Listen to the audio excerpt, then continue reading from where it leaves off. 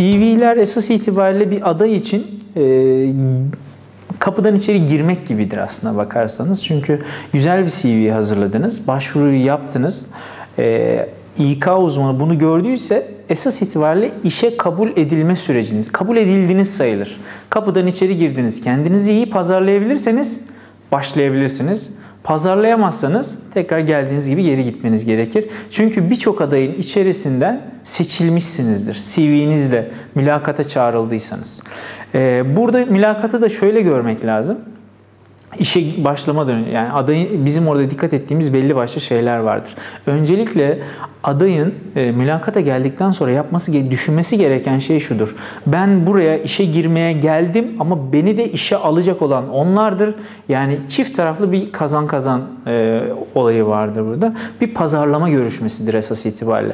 Ben ne kadar bu işe muhtaçsam işveren de o kadar bana muhtaçtır.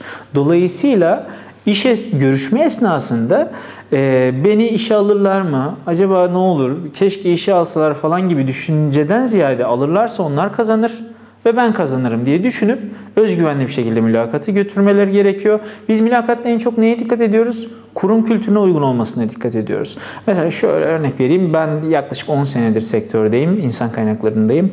10 senede yaklaşık 3-4 bin civar falan mülakat yapmışımdır. E, bu aşamada e, mülakatta, bir mülakata girdiğim zaman 5 ee, dakika içerisinde kısmen kafamda bir şey oluşur. Hatta bazı durumlarda ilk dakikada oluşur. Ee, adayla alakalı düşüncemiz.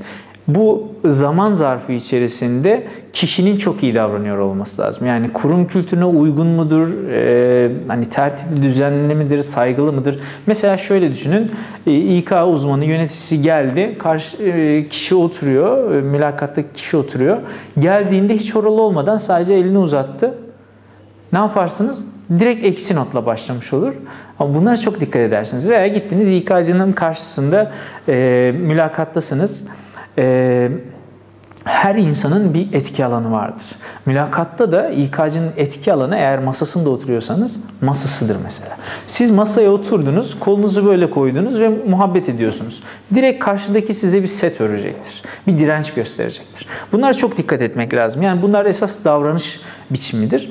Ee, bir de her kurumun kültürü vardır. İK'cı esas itibariyle çok önemli bir nokta. Şirketin en önemli pozisyonudur İK. Ee, esas itibariyle kapının hani e, kolunu tutar diye düşünüyoruz ama İK e, yatak odasının kapısının kolunu tutar. Yani içerideki mahremiyeti esas esas İK bilir, insan kaynakları bilir.